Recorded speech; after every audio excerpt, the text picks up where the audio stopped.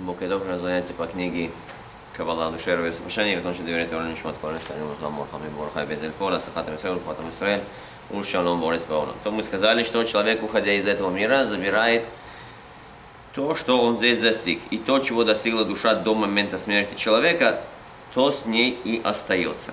Так говорит Шаруха Руха Кодыш. И то, над чем трудился человек в эре в шаббат, то и будет есть в шаббат. То есть, как говорит Перкиа, вот, человек, это хоть э, в шаббат нам варить нельзя. Человек то, что приготовил в пятницу перед шаббатом, то он и будет есть на шаббат. Поэтому и не хотели мудрецы расставаться с этой жизнью и молились о ее продлении. Поэтому мы можем спросить, почему мудрецы хотели долго жить? Если человек умирает и соединяется со Всевышним, и встречается со Всевышним, для чего жить здесь э, долго? Для того, чтобы подготовиться как можно лучше к встрече со Всевышним. Об этом говорят их слова. Лучше один час чувы и добрых дел в этом мире, чем вся жизнь в будущем мире. То есть человек, который здесь живет правильно один час, лучше, чем бесконечная жизнь в Уламаба. И, и лучше один час спокойствия души в будущем мире, чем вся жизнь в этом мире. Но также лучше, спок, э, лучше один час спокойствия души в будущем мире, чем вся жизнь в этом мире, потому что все, всю жизнь здесь человек живет, и нет спокойствия у человека. Он постоянно занят, какие-то заботы у него. А когда удостаиваются души будущего мира и радуются, созерцая Всевышнего, то стремятся они к тем уровням, что не успели обрести при жизни. И особенно, когда видят, что их друзья достигли большего. Как сказано, каждый завидует купе своего друга. То есть, когда человек уже уходит и получает свою душу на том уровне, который он заработал, то иногда появляется зависть. Первый вопрос, это белая зависть или нет, они видят, что их друзья достигли большего. То есть те, которые вместе они росли, учились, а, верили во Всевышнего, как написано, каждый завидует купе своего друга. И ревность мудрецов умножает мудрость. Но кроме этого мы сказали, что вот эта ревность, зависть мудрецов умножает мудрость. Человек, который видит, что почему другой мудрее меня, святее меня, он, станов... он старается его догнать. Теперь.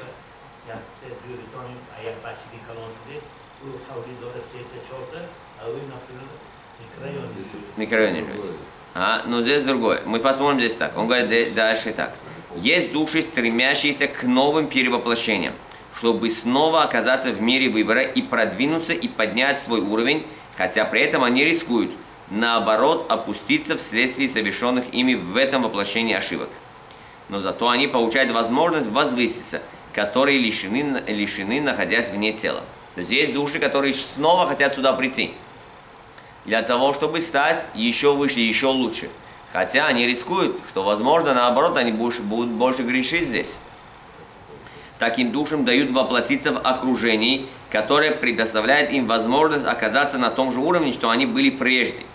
Когда удостоились, то по отделению от тела будущего мира. То есть эту душу спускает сюда, в то место, на котором она была, на том уровне.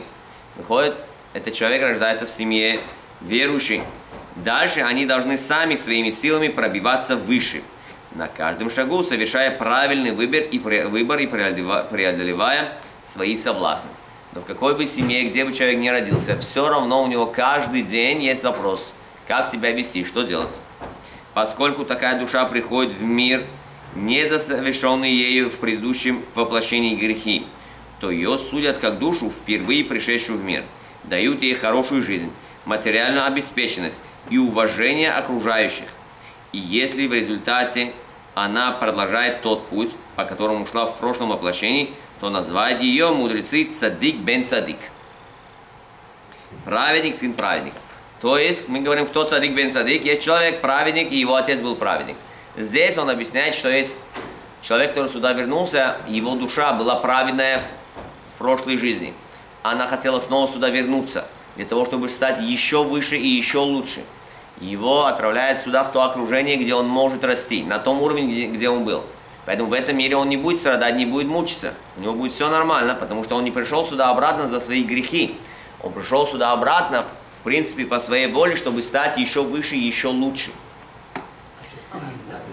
Там нельзя, там то, что мы принесли, принесли туда принесли, там уже поднимать. Поэтому мы сказали, что один час в этом мире лучше, чем вся жизнь в будущем мире.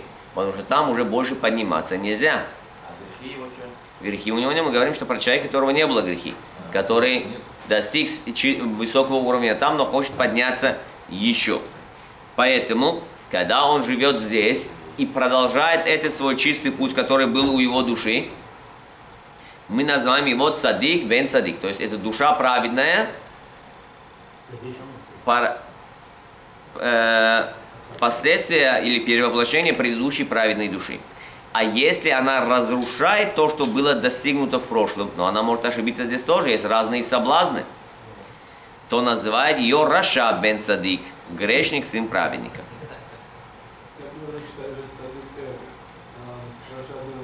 Еще раз, мы говорим, царе. мы говорим про душу, которая была праведной и сама вернулась сюда для того, чтобы стать еще лучше, еще лучше.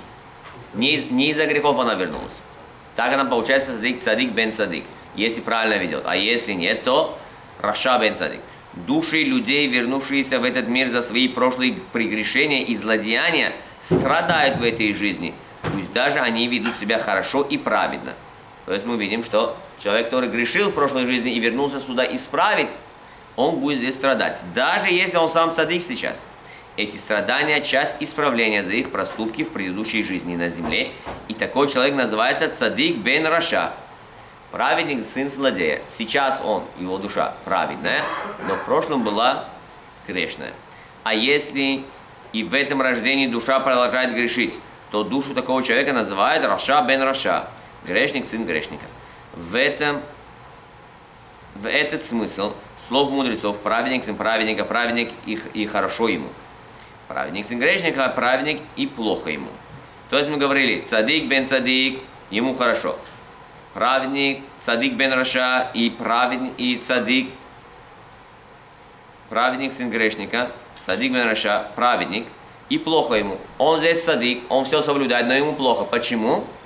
Потому что он праведник, сын грешника. Не значит, что его папа грешник, а значит, его душа в прошлой жизни была с грехами.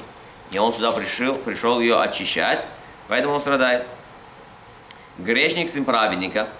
Грешник и хорошо ему. То есть, если душа в прошлой, в прошлой жизни была праведной, вернулась сюда, чтобы стать лучше, а испортилась, ей будет здесь хорошо, то есть она не будет страдать. Но это Раша бен Цадик, грешник, сын грешника, грешник и плохо ему. То эта душа была грешная и продолжает здесь, то ему будет в этом мире плохо.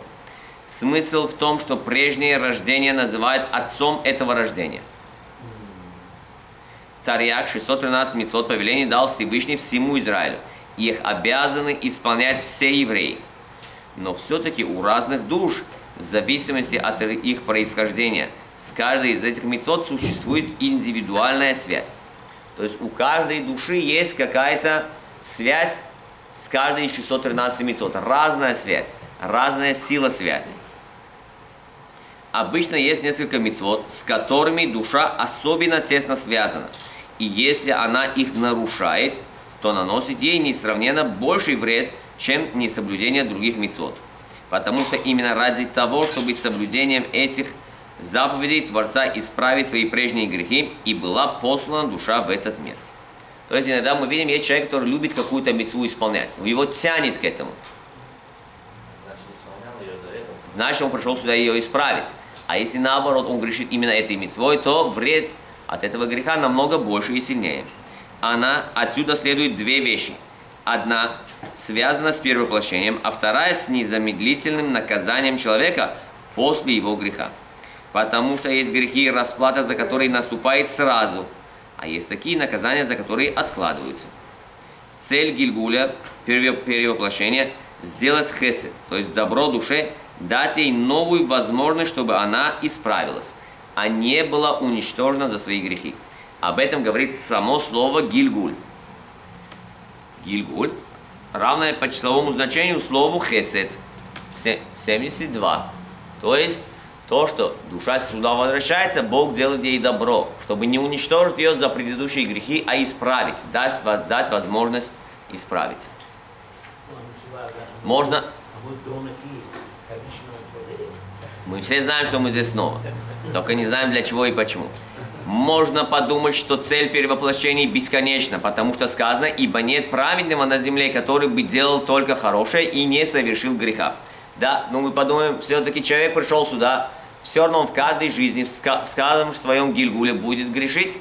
Так это будет бесконечно, он говорит. А если так, то, греш, то грешит человек и возвращается его душа на землю в следующем воплощении, чтобы исправить свой грех. И снова ос- оступается и совершает что-либо недозволенное. И снова, не дай Бог, должна перевоплощаться, чтобы исправить свой грех. Однако это не так потому что душа не должна возвращаться на землю после каждого проступка, а большинство грехов ей, ей удается исправить в высших духовных мирах посредством генома, так называется всю совокупность разных видов наказаний и испытаний, которым подвергается душа, чтобы очиститься, исправиться и приблизиться к Творцу. То есть не за все грехи человек возвращается сюда. Большинство грехов искупается страданиями в геноме, но есть некоторые, которые даже там нельзя исправить, и нужно вернуться. Возвращаться на землю душе приходится только за преступления, совершенные перед другими людьми, чтобы в новом рождении она могла расплатиться за нанесенный им ущерб. Есть грехи, совершенные по отношению к вездесущему, и среди них запрещенные Торой законом Бога сексуальные связи, например, между евреями и неевреями, или между близкими родственниками, или между мужчиной и замужней женщиной, в результате которых грех распространяется уже на те, уже и на тела всех их потомков. И исправить его можно только посредством кафакела, или воплощением в тела животных. За такие грехи приходится душам возвращаться в мир для исправления. То есть за грехи между человеком и человеком, за грехи за запрещенные интимные связи, с родственниками и чужими женщинами, мамзарим, не дай Бог, появляется. И человек может исправить это, возвращаясь сюда в виде животного. За такие грехи приходится душам возвращаться в мир для исправления. Но если душа совершает грех только по отношению к Творцу, а другие люди при этом не потерпели ущерба, в таких случаях, как правило, душе женщины не нужно возвращаться на землю для исправления. Она получает наказание лишь в духовных мирах.